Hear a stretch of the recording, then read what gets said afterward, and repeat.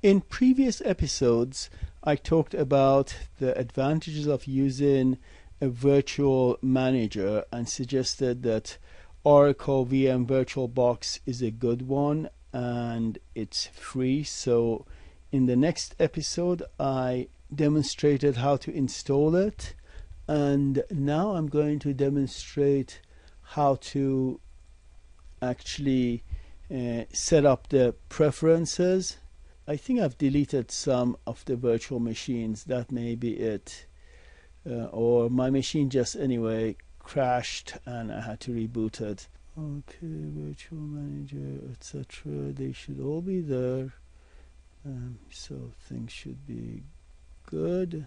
I want to demonstrate the preferences. Okay. One of the first preferences is the default machine folder. On my machine, I have a two terabyte um, disk drive, so I've got a huge amount of disk space left on my main disk.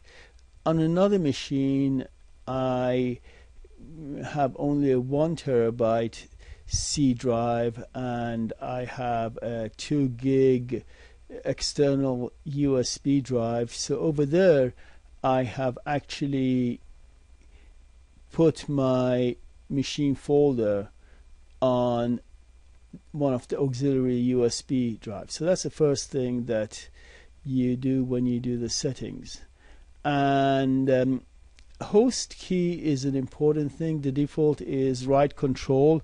The host key allows you to, the mouse sometimes gets stuck inside, so it can actually take you from the guest operating system to the host operating system. Once again, the host is in this case like Windows 7. The guest is the operating system you're running within the VirtualBox Manager. Update once a day, as far as I'm concerned, is good enough. Languages, English is my language.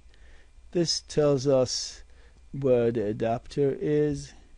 Extensions, um, depending on your firewall settings, you may need to have uh, enable proxy that's it for this video.